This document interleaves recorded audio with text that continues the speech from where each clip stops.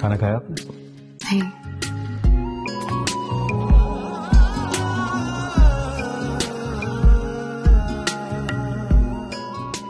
बैठिए खाइए ना मेरे साथ बीवी हैं आप मेरी लेकिन इस घर की बहू नहीं हूँ थोड़ा सा तो हक मेरा तुझ पे रहने दे पिया। झूठ मूठ ही सही पर अपना कहने दे वो लाइक दानिश होता है या बच्चे होते हैं ना उनके लिए सिर्फ़ प्यार है उनके लिए सिर्फ़ सुकून है। क्योंकि घर का जो मेरा माहौल है ना मुझे होता है वो जो है अल्लाह ताला क्वालिटी टाइम तुमने देना होता है ना तो तुम कहते हो कि मैं चिड़चिड़ापन भाई बहन नाराज़ भाई बहन एक उनको कुछ नहीं हाँ उन्होंने बचपन से देखा है कि हर तरह की नेचर होती है।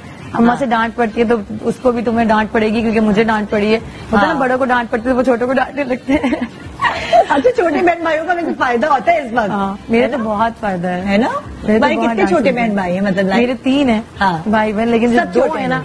सब मुझसे छोटे एक तो मुझसे दो साल छोटा है वो इतना छोटा नहीं है अब। लेकिन जो बाकी हैं वो एक ए लेवल्स में है एक एट में है। तो वो तो हर वक्त की डांट खाते हैं मुझसे। और एंड कुछ करती मैं कहती हूँ तुमने क्यों नहीं देखा? तुम लोग कहाँ थे?